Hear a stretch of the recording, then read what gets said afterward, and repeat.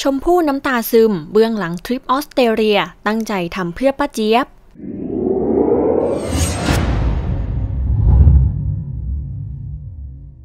อยู่ด้วยกันมานานมากๆ เรียกได้ว่ารู้ใจกันสุดๆ ระหว่างซุปตาสาวชมพู่อารยา กับป้าเจี๊ยบ พี่เลี้ยงคนสนิท ผู้ที่คอยช่วยเหลือแบ่งเบาภาระในการดูแลลูกๆทั้ง 3 คน ไม่ว่าจะเป็นคู่แฝดน้องสายฟ้าพายุ และน้องเอบิเกล ล่าสุดในรายการเต้นรู้โลกรู้ทำเอาสาวชมพู่ถึงขั้นเก็บน้ำตาไว้ไม่อยู่ เมื่อได้ย้อนเล่าถึงเหตุการณ์ที่พาครอบครัวไปเที่ยวพักผ่อน ที่ประเทศออสเตรเลีย เป็นเพราะป้าเจี๊ยบนั่นเอง โดยชมพู่ก็ได้เผยว่า เมื่อปลายปีที่แล้วลูกสาวป้าเจี๊ยบเขาอยากไปเรียนภาษาต่อที่ออสเตรเลีย พร้อมกับทำงานพาร์ทไทม์ไปด้วย จึงเลือกเมืองเมลเบิร์นพอดีน็อตวิสรุตเขามีโรงงานซูชิ เปิดกิจการกับเพื่อนเขาอยู่ที่นั่น ก็เลยให้ลูกสาวป้าเจี๊ยบไปอยู่ เพื่อที่จะได้มีคนช่วยดูแลเป็นหูเป็นตา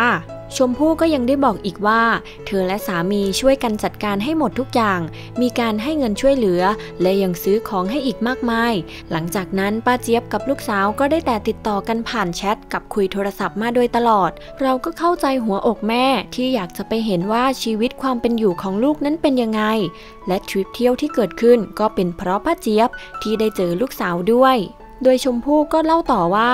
พูดแล้วจะร้องไห้ ก็คิดแบบหัวอกคนเป็นแม่ เพื่อความสบายใจของเขา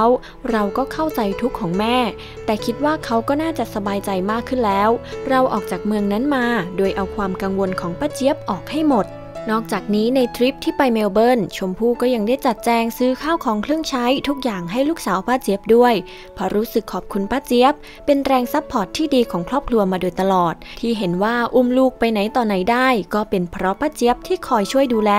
ดังนั้นจึงอยากจะจัดการเรื่องส่งลูกป้าเจี๊ยบไปเรียนต่างประเทศให้เป็นการตอบแทนเรียกได้ว่าต่างคนก็ต่างเป็นกัลยาณมิตรที่ดีต่อกันและกัน อ่านแล้วทำให้หัวใจฟูมากเลยทีเดียวค่ะ